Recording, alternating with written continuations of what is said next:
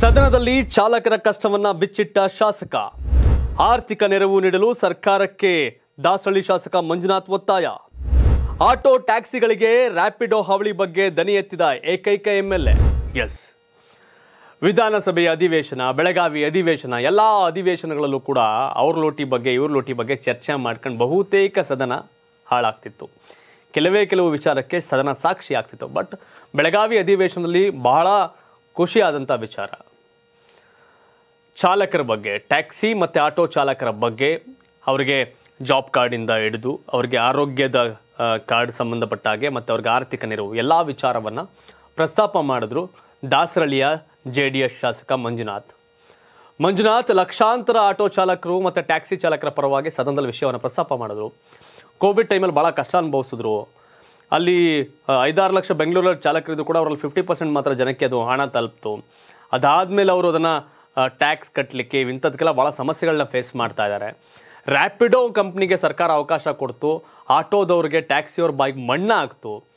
ದುಡ್ಕೊಂಡು ತಿನ್ನೋರ್ನ ಹತ್ರ ಕಿತ್ಕೊಂಡು ತಿನ್ನಂಗೆ ಸರ್ಕಾರ ಈ ಥರ ಸಮಸ್ಯೆ ಮಾಡ್ತು. ದಯವಿಟ್ಟು ಅವ್ರ ಪರವಾಗಿ ನಿಲ್ಲಿ ಅನ್ನೋದ್ರ ಮೂಲಕ ಡಾಕ್ಟ್ರು, ಸಾರಿ, ಮ, ದಾಸರಳ್ಳಿ ಶಾಸಕ ಮಂಜುನಾಥ್ ಡ್ರೈವರ್ಗಳ, ಚಾಲಕರ, ಸಾರಥಿಗಳ ಬೆಂಬಲಕ್ಕೆ ನಿಂತಿದ್ದಾರೆ. ಬಟ್ ಗುಡ್ ನಂಗೆ ಬ, ನಂಗೆ ಭಾಳ ಖುಷಿ ಆಯಿತು. ಯಾಕಂತಂದರೆ ಒಬ್ಬ ಚಾಲಕ ಪಡೋ ಕಷ್ಟ ಅಷ್ಟಿಷ್ಟಲ್ಲ ಬೆಳಗ್ಗೆಯಿಂದ ಸಂಜೆವರೆಗೂ ಕ್ಯಾಬ್ ಹಾಕೊಂಡು, ಆಟೋ ಹಾಕೊಂಡು ನಿಂತ್ಕೊಂಡ್ರೆ ಅವನಿಗೆ ಅದರ ವ್ಯವಸ್ಥೆ ಸಿಗುತ್ತೋ ಸಿಗಲ್ವೋ ಅನ್ನೋದು ದುಡಿಮೆ ಆಗುತ್ತೋ ಆಗಲ್ವೋ.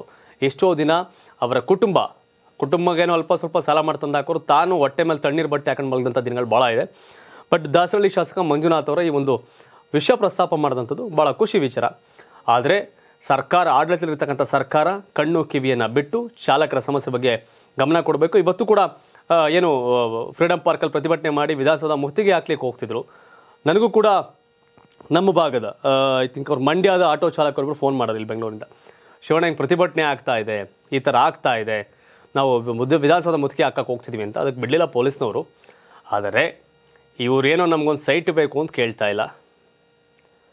ನಮ್ಮನ್ನ ನಮಗೆ ನಮಗೆ ಎಲ್ಲ ಪುಕ್ಸಟೆ ಕೊಡಿ ಅಂತ ಏನು ಕೇಳ್ತಾ ಇದ್ದಾರೆ. ದುಡಿದು ತಿನ್ನೋಕೆ ಅವಕಾಶ ಮಾಡಿಕೊಡಿ. ನಮ್ಮ ದುಡಿಮೆಗೆ ಕಲ್ಲು ಹಾಕುವಂಥವ್ರಿಗೆ ಸ್ವಲ್ಪ ಆ್ಯಕ್ಷನ್ ತಗೊಳ್ಳಿ ಅಂತ ಕೇಳ್ತಾ ಇದ್ದಾರೆ. ಸರ್ಕಾರ ಈ ದಿಸೆಯಲ್ಲಿ ಕ್ರಮ ಕೈಗೊಳ್ಳುವ ಭರವಸೆಯಲ್ಲಿ ಎಲ್ಲರೂ ಇದ್ದಾರೆ. ಆದರೆ ಬದುಕಿದ್ರೆ ಸರ್ಕಾರ ಈ ಚಾಲಕರ ಸಮಸ್ಯೆಗಳನ್ನ ತೀರಿಸಬೇಕು. ಬಿ ಎಂ ಟಿ ಸಿ ಮತ್ತು K S R T C ನೌಕರರು ಪ್ರತಿಭಟನೆ ಮಾಡಿದ ಪರಿಣಾಮ ಮಸ್ಕಿಯಲ್ಲಿ ಬಿ ಜೆ ಪಿ ಮಕಾಡೆ ಮಲ್ಕತ್ತು. ಅಂದರೆ ಆ ಟೈಮಲ್ಲಿ ದೊಡ್ಡ ಜೋರಾಗಿ ಕಾವಿತ್ತು. ಟ್ಯಾಕ್ಸಿ ಅವ್ರದ್ದು ಪ್ರತಿಭಟನೆ ಇತ್ತು B M T C K S R T C ಅವ್ರದ್ದು ಪ್ರತಿಭಟನೆ ಇತ್ತು. ಅವತ್ತು ಮಸ್ಕಿ ಚುನಾವಣೆ ಮೇಲೆ ಇಂಪ್ಯಾಕ್ಟ್ ಆಯಿತು. ಅಟ್ಲೀಸ್ಟ್ ಚುನಾವಣೆಯಲ್ಲಿ ಜನ ಉಲ್ಟಾ ಓಟ್ ಹಾಕ್ಬಿಡ್ತಾರೆ, ಸೋಲ್ಸ್ಬಿಡ್ತಾರೆ ಅಂತ ನಾನು ಭಯ ಬಿದ್ದು ಬಿ ಜೆ ಪಿಯವರು ಈ ಚಾಲಕರ ಒಂದು ಬೇಡಿಕೆನ ಈಡೇರಿಸಿದ್ರಾಗತ್ತೆ ಎಸ್ ವೀಕ್ಷಕರೇ, ಹಾಗೆ ದಾಸರಳ್ಳಿ ಶಾಸಕ ಮಂಜುನಾಥ್ ಅವ್ರಿಗೆ ಥ್ಯಾಂಕ್ಸ್ ಹೇಳ್ತಾ ಸಾರಥಿಗಳ ಸಮಸ್ಯೆಗೆ ಆಲಿಸಿ ಅಂತ ಸರ್ಕಾರಕ್ಕೆ ಒತ್ತಾಯ ಮಾಡ್ತೇನೆ. ನಿಮ್ಮ ಅಭಿಪ್ರಾಯ ಏನು? ಕಾಮೆಂಟ್ ಮಾಡಿ ತಿಳಿಸಿ. ಧನ್ಯವಾದ. ಇದು ಕರ್ನಾಟಕ ಟಿವಿ, ಕನ್ನಡಿಗರ ಧ್ವನಿ.